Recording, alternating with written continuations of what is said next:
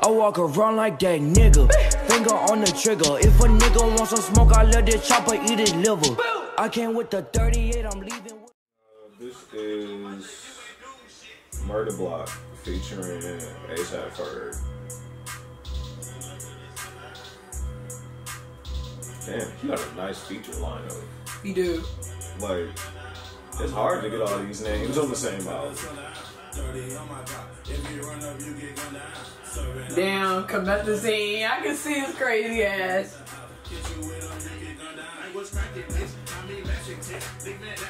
I can see Isaiah Rashad this. Hmm. Or Jay Rock.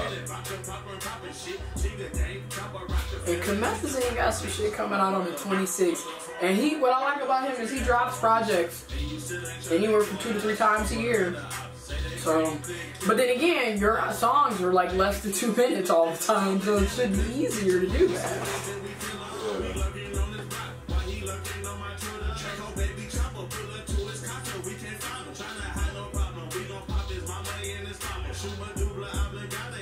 This sounds like some Detroit shit, though.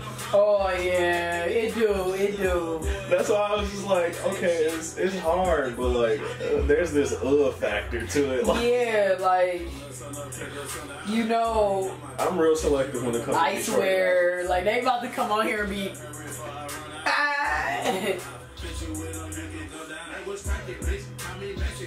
Big Sean would kill this too. Oh, yeah.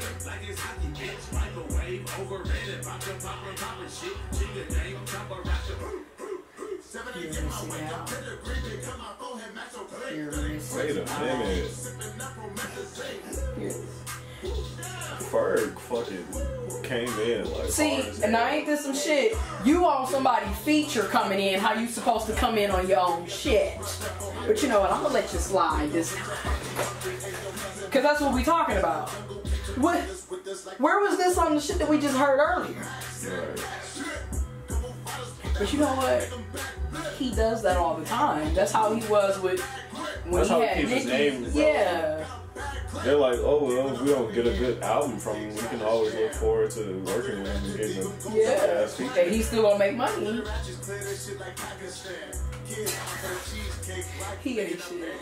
This nigga said we gonna clear this shit like Pakistan. And you know, that's all American does is go into other people's countries. Just fuck all of you. it's like, damn, I'm spreading democracy, bitch.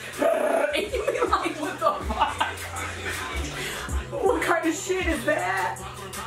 That's colonization on a whole other level. I don't condone this shit, man. We are displaced Africans. I don't. Hell, they don't even want us back. I know.